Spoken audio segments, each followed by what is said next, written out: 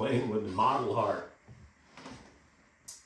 Uh, Zschiesche here, underscore in that statement here, being that uh, things got a little dodgy, probably a little more than dodgy back about a month ago.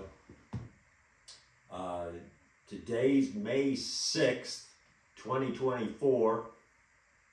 And on April 7th of 2024, I uh, went down to the local climbing gym, do a little climbing, a little bouldering, and uh, had a out of hospital cardiac arrest.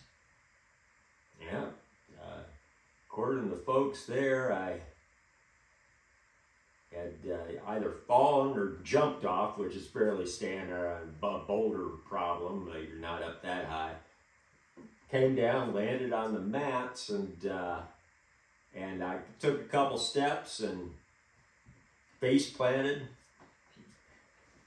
face first into the into the bouldering pads, and uh, yeah, saw the electro physio cardio doc today. Got seen a number of doctors get a quite a number of tests done. Five different medications: toprol, losartan, losartan, uh, Eliquis, uh, clopidogrel. What's the other one? I trying to. Oh, regular Frankenstein's uh, babe here. I got. Uh, number of people working on me, which I'm appreciative of. Don't get me wrong. I mean, as the uh, I think the Dr. Day summed it up. Dr. Lund said, "Ah, usually when people have a cardiac arrest, you hear it from somebody else." In so much that, uh, yeah, their survivability numbers are they're not good. Uh, the type of uh, heart failure I had uh, approximately 10% of people live. So I'm of lucky. One in, one in 10 people that uh, squeak through, and then no small number of that 10% that do, approximately half of that number have quite severe or debilitating cognitive impairment, which uh, at least it seems like my brain came through pretty well too. So Ah, 95% chance of having it go kitty wampus the other way. I lucked out. Won the biggest lotto by far of my life. Uh, I've had a number of close calls through the years, but uh, yeah, the thing that occurred a month ago, that took the uh, took the prize. Knock on wood. Hopefully, hopefully, some tells me probability and statistics and everything else. I'm probably not going to have a closer call, at least uh, uh, in this form.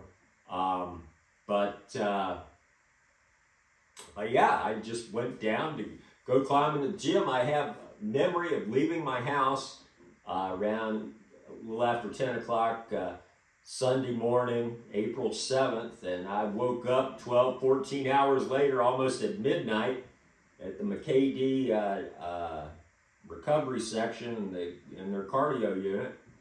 And uh, so I've pieced all of this together, even though I'm giving you from the horse's mouth itself as far as my uh, take on my cardiac arrest event. I have no memory whatsoever. I remember leaving my house and I woke up hours later having had one of the uh, deepest, uh, most peaceful uh, naps, rests, slumbers of my life. The whole time, a lot of other folks were instrumental in saving my life. Uh, so I face planted on the mats, and uh, the manager, Chet, he ran over there. He could discern no pulse. I guess I didn't have any real respiratory function going on either. Yeah, when you're not, when your heart's not beating and you're not breathing, it's not a good thing. And uh, fortunately, a woman, Emily, her and her fiance, James, were there. He was climbing. she was working out in the uh, weight section of the the uh, Ogden front, and uh, she realized something's going on, something's amiss. She ran over there, and she literally saved my life. She works as a registered nurse at the Katy Hospital, actually where I went, and she gave me life-saving CPR for probably seven, eight minutes. It took a number, it took about eight or nine minutes, it looks like, for the EMTs, the EMS vehicle to get there from a few blocks away.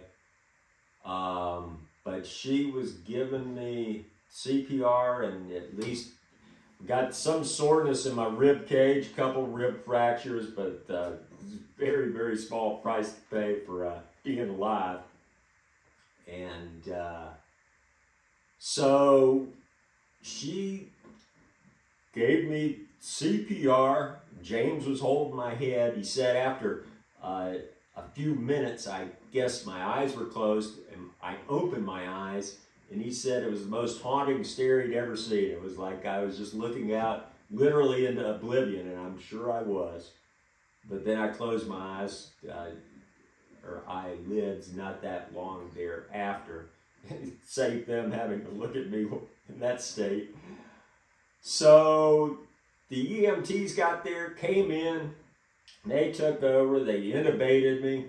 I got the ear pipe down in there to pump some air into my lungs. I guess I had some kind of respiratory function going, maybe it was from a ventilator. And uh, they tried uh, uh, giving me, uh, I think it's AED or whatever, the uh, uh, defibrillator. And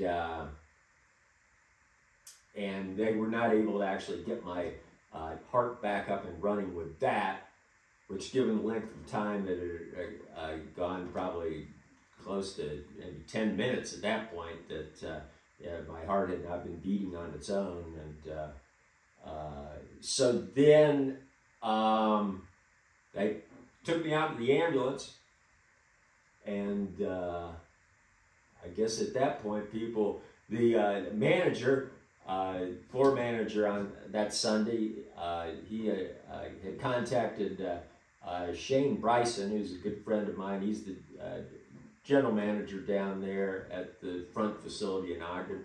And Shane had asked him, well, what do you think's going on with Eric? Do you think he's going to make it? And, and, I guess Chet said, I think he's died. And, but not quite yet. it was close though.